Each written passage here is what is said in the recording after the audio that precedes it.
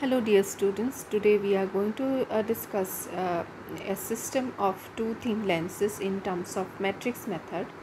So uh, let us consider that you have uh, two lenses mm, like this, okay, and they are, let it be that the focal length of the first lens is f1, second lens is f2 and this is the principal axis and they are separated by a distance t, okay now suppose that uh, now we are uh, we need to find a system matrix for this uh, for this optical system okay? Now these two lenses are forming an optical system so we need to find out the system matrix for this okay?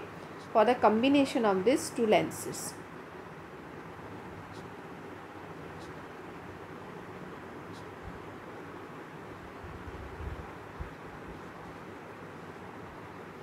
So you know that suppose that this is an object a ray of light is coming out of it okay? So uh, when it enters the lens first of all it uh, uh suffers uh, refraction. Then it will be sorry uh, i won't say like that. So it will pass through the first system lens and then it will go through translation and then it will pass through the second lens and then you are going to have the image okay?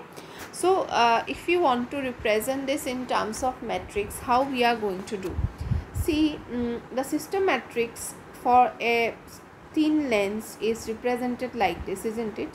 1 and then 1 and this is 1 by f1 so whatever changes has happened inside the uh, lens uh, of focal length f1 is represented by this system matrix okay? So this is the system matrix 1 okay s1 similarly whatever has happened inside this lens is totally represented by a system matrix S2. So you know the system matrix for an uh, thin lens is given by 1 and 1 this is 0 and this is 1 by f2 this is focal length inverse of the focal length okay? And what happened in the middle? In the middle whatever happened is called translation okay? Now you know that what is a translation matrix? Translation matrix is 1 1 this is 0 and this is distance by refractive index. So what is the distance? Distance is t and refractive index is 1 because we are talking about air. Okay? The the the medium between the lenses is nothing but air. So refractive index is 1 so this is the so translation uh, matrix translation matrix is given by this. Okay? So suppose that here the uh, ray of light is having a coordinate lambda 1 x1 and suppose that here the ray of light is having a, a coordinate lambda 2 x2 okay so this is the initial this is the final. This is the initial state of the light. Okay and this is the final state. Okay so how do we write like that? So initial is lambda 1 x1 okay first what happens? Sorry at first it goes to the lens s1 so it is uh, sorry uh, first lens. So uh, whatever happens inside the first lens is represented by this you see. Then what happens? Translation okay? Uh, let me draw the diagram again then it will be much more easier for to uh, uh, relate it. See this one and this one and this one okay? So at this position you have lambda 1 x1 and at this position the ray of light is like that. And then this okay? Here you have lambda 2 x2 all right and this is translation. So first first thing that happens is this. So lambda 1 x1 second thing that happens is this. So it is represented by what? S1 okay? Third thing that happens is this. So t and the last thing that happens is this. So it is represented by s2 so then it, it gives rise to the final thing that happens is this. So it is lambda to x2 i hope you have understood how we have done it okay? Now let me write it more clearly in a in a in a neat and clean way. So s2 is nothing but 1 minus 1 by f2 0 1 then t means 1 0 t 1 and s2 means 1 minus 1 by f1 0 1 and the last one is lambda 1 x1 all right so we need to do matrix multiplication of all this. Okay. So i'm not going to show all the steps one by one. So if you solve this what you are going to get is 1 minus t by f2 okay? This is going to be t okay?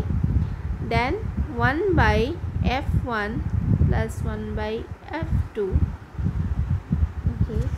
Minus t by f1 f2 and then we have 1 minus t by f1 so the whole thing is like this so and at last you have lambda 1 x1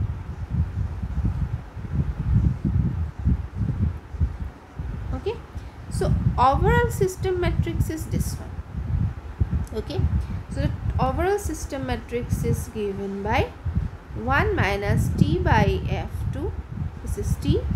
This is 1 by f1 plus 1 by f2 minus t by f1 f2 1 minus t by f1 and this is the average or overall system matrix for the uh, for the thin lens. Sorry uh, the system of two lenses.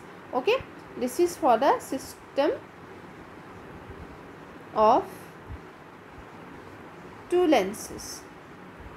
Understood? So i hope you remember this term um, this matrix for exam purpose also so all of you know that a standard system matrix is written like this. Alright? So minus a is equal to this thing. So I can write a is equal to 1 by f1 1 by f2 minus t by f1 f2 similarly b is equal to 1 minus 1 uh, t by f2 so b is equal to 1 minus t by f2 next c is equal to 1 minus t by f1 c equal to 1 minus t by f1 and minus d is equal to t. So d will be equal to minus t. Okay?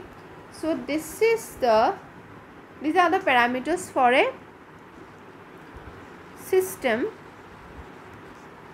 of two lenses okay? Separated by a distance okay? So these are the this is this represents the system of two lenses. So that's all. So for uh, uh, uh that's all uh, the uh, the overall about the things that we do about a system of two lenses separated by distance in terms of matrix method okay?